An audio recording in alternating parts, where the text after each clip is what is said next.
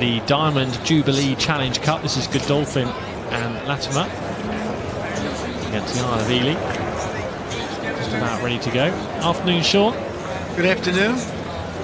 How are you today, Tim? I'm enjoying it. It's hotting up, isn't it? Well, we would say heating up, but that's fair enough. The uh, regatta is uh, getting to the business end, isn't it, as we head into the weekend. Some top quality racing out on the water this afternoon. Absolutely. Races are getting much closer than the last several days. Noticeably. Godolphin See uh, Molly Johnson and Ely. snapping her thighs and trying to make sure she's uh, see that you're as alert and ready to go as possible. I will start you like this. all these Attention. athletes desperate to stay in the competition Go. through the weekend. Get ready, please. Minor triumph, isn't it? If you're still in it on Saturday morning, you, You always done want to make the weekend. Yeah, big benchmark, isn't it? Like a golfer, you don't want to miss the cut going into the weekend when you get this close. Attention. Go. So on the Berkshire station, Godolphin and Latymer in the black and red. Stroke. Yeah, rate really high there immediately. Little glance over the shoulder from Claire Patterson, checking on the steering. Steering such a key part, especially at this stage of the race past Temple Island. You see there Kate Lister in the two seat.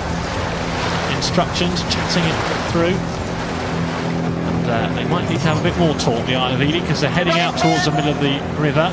Umpire getting busy there with Godolphin and Latymer, who have come to central as well. Both boats needing to redirect themselves. Well, over. there's just been a huge crab. massive crab in that boat, Unfortunately, and that was in a the Godolphin boat. Godolphin and Latymer, and the uh, looked like it was the uh, two-seat India Colgrave who had the problem, and uh, now she needs to recompose because it's early on in the race, and you saw the uh, catching a crab that uh, will really have disrupted not just the momentum of the boat, but mentally.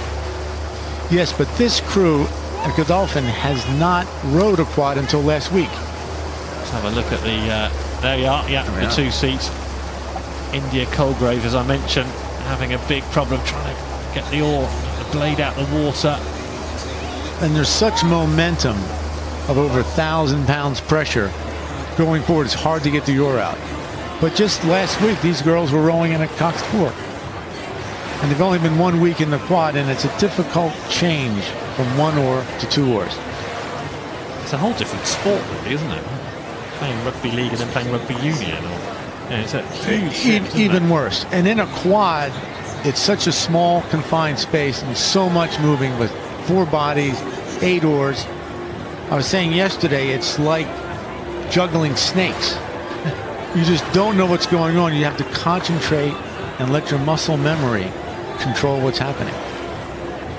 And add a little bump in the water, and it's deadly. But these are good racers in Godolphin. They won the national schools, the school's head. They just lost in the finals at Henley Women's a few weeks ago, but they're very good racers. Well, they're going to need to show that, aren't they, in this next uh, few minutes, because that'll have really upset their equilibrium so early in the race. Just need to settle down as quickly as they can. They seem to be back rowing very well now. Now they'll probably change their race plan at Godolphin and try to make a move midway once they recompose themselves, settle down, get the rhythm, and then try a push. Who makes that call, Jim? Is it going to be uh, something to look uh, there, Sean? I mean, you're um, experienced enough to. Is it possible to tell who's going to make the call in that boat of the four of them? Sean? Usually it's the bow or the two person that makes the call. The stroke no one will hear in the bow. And that's not something you usually plan for, catching a huge boat stopping crab. No. I suppose the uh, what if planning may not go that far. You don't plan for disaster. And unfortunately for them, the Isle of Ely has been rowing so smooth all week. Earlier yesterday, when you had the front bow shot, it looked like a single sculler. They were so well synchronized. And you can see now from the overhead shot, they get tremendous reach and just use their legs to lever the boat by them. And now they can take the center of the course, not worry about the booms and just relax and watch. Yeah, they've got Godolphin and Latymer very firmly in their sights, haven't they? They can uh, read this race all the way to the end, just uh, pace themselves, manage the race exactly as they wish. And you know, it's a good it's a good crew. They're second in the national schools. For two of the girls, it's their first uh, Henley race, so they have to be feeling very comfortable now. By being on the third day, four lengths open, they can relax. I won't say enjoy the rest of the race, but they can compose themselves for tomorrow. Helena O'Donnell, Kate Lister, Rebecca Welch, and Molly Johnson in the boat there. And a brilliant Henley women's regatta, defeating Henley in the semi-finals of junior quads before losing out to Gloucester. Silver medalist in the championship girls double at the National Schools Regatta. And a crew on the rise. They look very uh, serene at this stage, don't they? Yes, well, 28 strokes a minute, they can get their breath back, relax, and watch their competition. That's what's nice about match racing, is that you're allowed to relax if you have a good start, or you nice. take advantage Well, keep an eye on the uh, accident.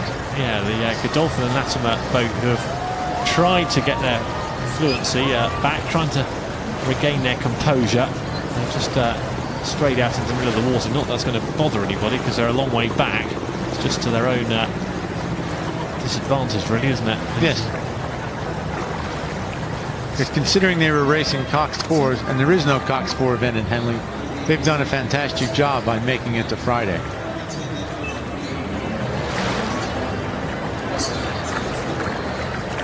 Now they're juggling snakes. It's more difficult. Someone said. We'll see. But I'm sure Godolphin will put in a very fine sprint here at the end. Yeah, finish with a flourish. So moving in front of the grandstands and stewards. Conditions are perfect for the rose today. Absolutely. So, uh, Temperature-wise, no wind really to talk of. Sun in and out, nice cloud cover. Now Isle Ely is just putting on a nice sculling school for the enclosures. Yeah, they can row for the cameras now, can't they? Thanks. Yes, they Sure can. uh, they know that the coach will be watching this over and over again, so they'll think, well, we better nail our technique. Yes. Now they'll probably put on a little push the Isle of Ely just to get ready for tomorrow. You don't want to finish your race at 28 strokes a minute. You want to finish so you have the muscle memory because their next race will be again straight out of the blocks. All hell will break loose. Yeah, so there's a danger you can, although win so convincingly, learn bad habits during that. I mean, you- Yes. you, become a bit uh, sedate in the way Yes. you approach these races. So yeah, finish with a bit of sharp. Yes, you want your legs to be to be really pressing. So that's the last feeling you have today and the first feeling you'll have tomorrow. Well, they're not doing that at the moment, Sean. No, they're not. They're putting on a very nice sculling score. So if you were their coach, you'd have a word afterwards, would you? Say, look, we wouldn't. I don't think I've ever coached a crew that rows that well. Shut up, please. But uh, they haven't done anything to sharpen at the finish. They just ease across the line in the Diamond Jubilee Challenge Cup, the Isle of Ely. dolphin and Latin with that early problem on board, catching a crab. And that will be a moment they'll quickly want to forget. Heads up!